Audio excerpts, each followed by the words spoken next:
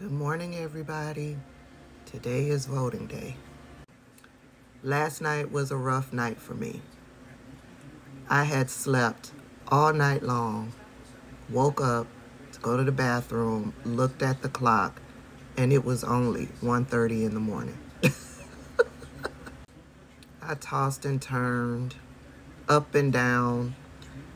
I didn't sleep well last night. But here we are. Today is the day. It is voting day. And I know a lot of you are heading out to cast your votes today. You plan on using your voice today. And so I wanted to send you off with a little bit of motivation.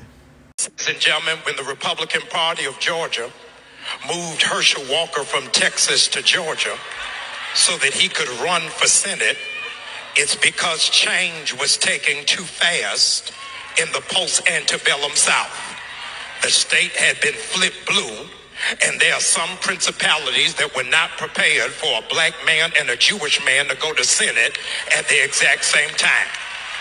So they figured that they would delude us by picking somebody who they thought would, in fact, represent us better with a football than with a degree in philosophy. They thought we were so slow, that we were so stupid, that we would elect the lowest caricature of a stereotypical broken black man as opposed to somebody who is educated and erudite and focused. Y'all ain't ready for me today.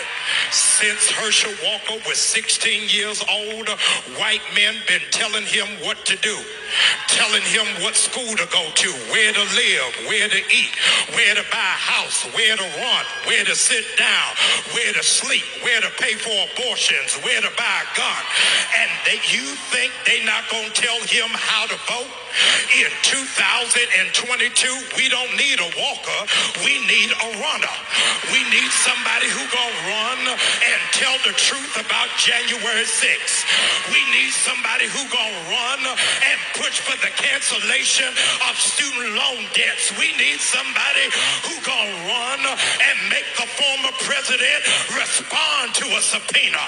We don't need a walker. We need somebody who will be steadfast, unmovable, always abounding, knowing that your labor is not in vain. Georgia, I need you to know the slave Negroes y'all are used to don't live here no more. We can think for ourselves, function for ourselves, and vote for ourselves. Why? Because we don't need a walker. So now, grab your cup of coffee. Yesterday we talked about making a plan. So make sure you have all of the things that you need in case you have to stand in a long line. Also, we talked about being safe. Be aware of your surroundings at all times. If things ain't looking right, if things are looking violent, find another way. Go on. You got this. Be safe. I'll see you later.